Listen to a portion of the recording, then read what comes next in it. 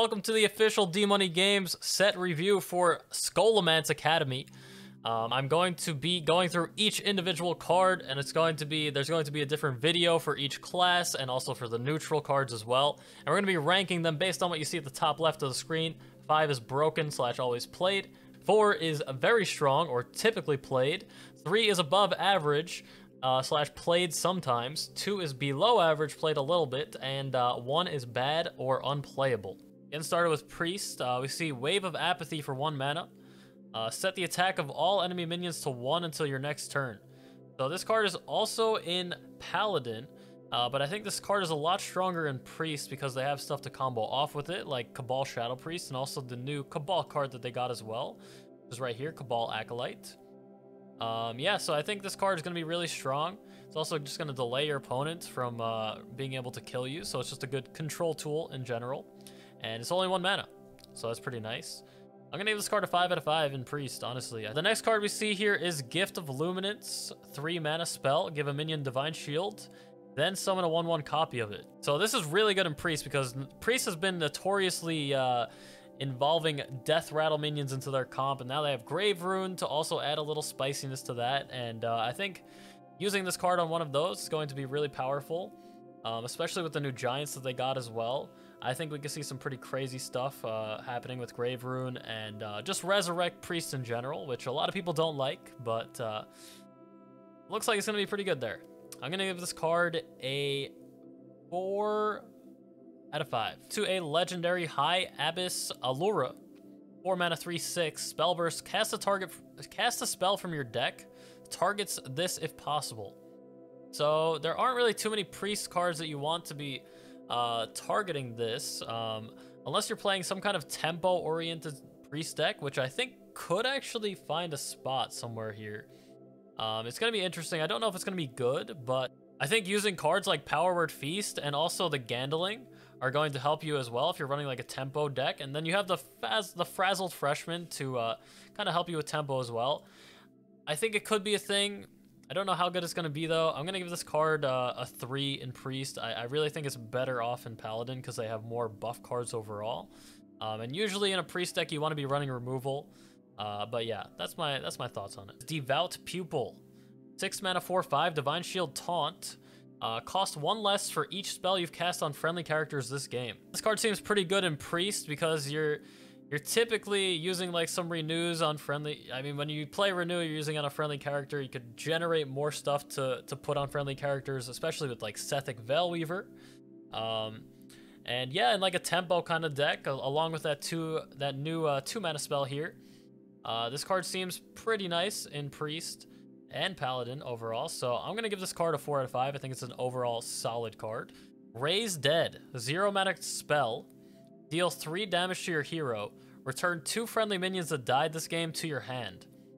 Uh, yeah, this card in Priest is uh, looking really, really good. The ability to return two things, usually 3 health is not going to matter on your hero. I mean, you could just heal it up with Renew or like anything. Uh, even like almost your hero power.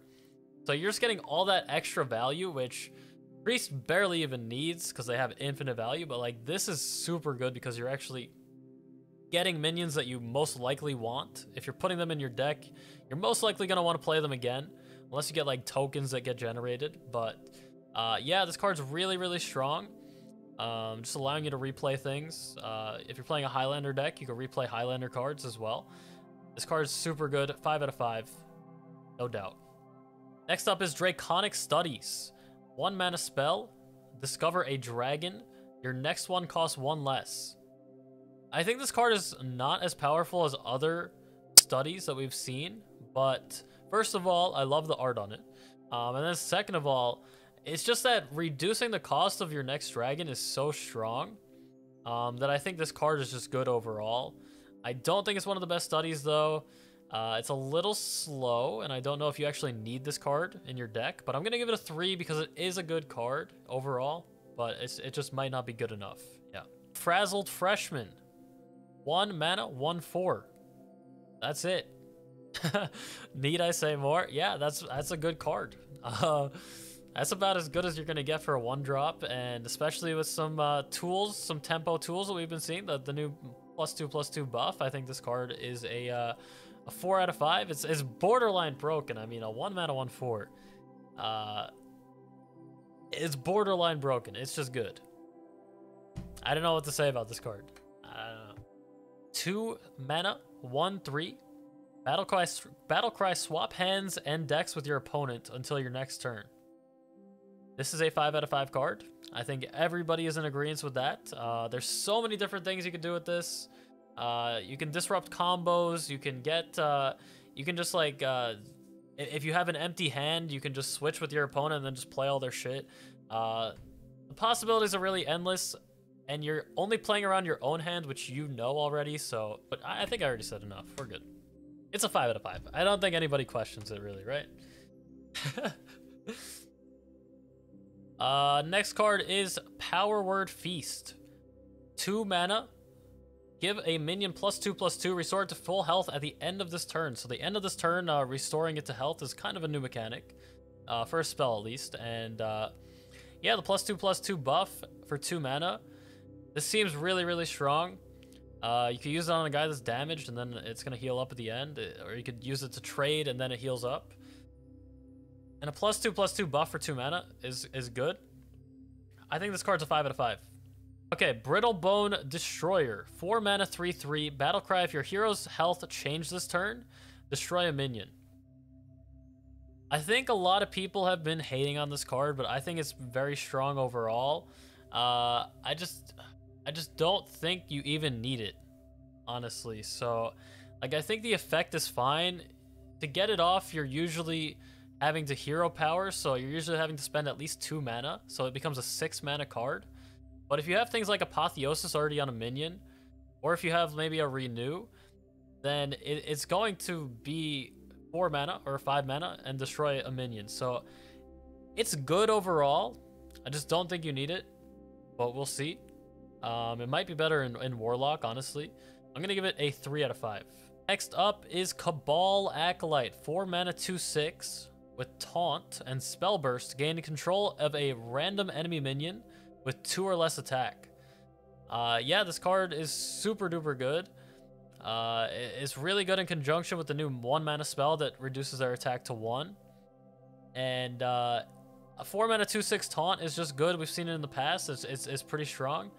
And that, that effect, if they leave it up or if you get it off in one turn, dealing something with two or less attack, which, I mean, there's a lot of new beasts for Hunter that are going to be under that threshold. And there's going to be Demon Hunter cards that are under that threshold as well. I think I think this card is very strong. I give this card a 4 out of 5. Super solid. Disciplinarian Gandling. 4 mana 3 6. After you play a minion, destroy it and summon a 4 4 Fel student. This can work in the tempo kind of variant that I'm thinking of. I just don't think that's going to be a thing.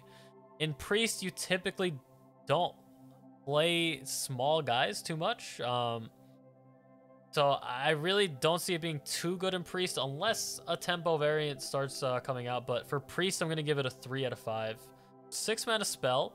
Deal 4 damage to a minion. If that kills it, summon a new copy. So this card is kind of uh, similar. You can compare this to Holy Water, which was a 5 mana spell that uh, did 4 damage to a minion. and If it killed it, you got a copy to your hand. Uh, the fact that this actually summons a new copy for one extra mana, I think this card is very strong. I think, uh, I don't think all decks run it, but I think you run it in Highlander Priest and it's very good.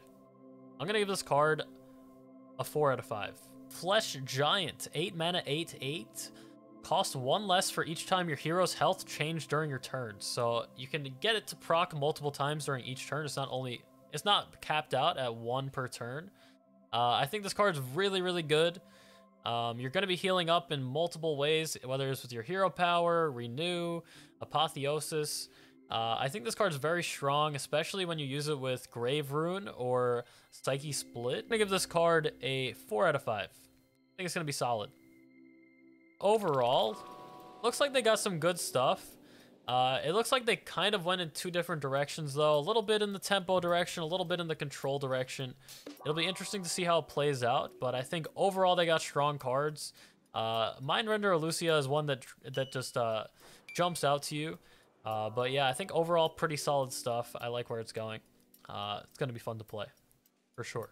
Of course, all these ratings are my own opinions, and uh, I would love to hear what you have to say in the comments. Uh, please let me know. I'd love to hear uh, what your opinions are on certain cards, what you think I may be underrated or overrated. And uh, yeah, I'm going to be trying out all these decks on stream on August 6th. That's when it drops. I'm going to be doing a 24-hour stream. If you want my stream link, it is below in the description. I'll be doing a 24-hour stream with giveaways, with viewer games. Uh, it's going to be a whole lot of fun. I hope you come by. And that is all. Peace out, guys.